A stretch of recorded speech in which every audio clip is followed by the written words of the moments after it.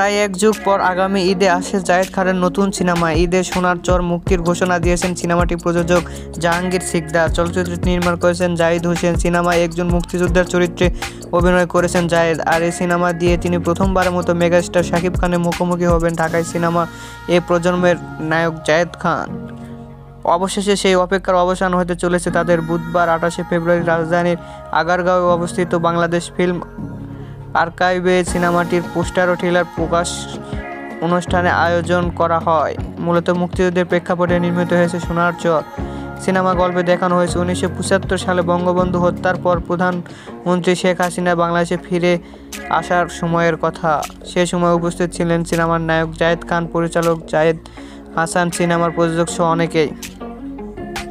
Cinema প্রসঙ্গে জায়েদ বলেন, আমার ক্যারিয়ারে সবচেয়ে শ্রম দেওয়া সিনেমা শোনার চোর।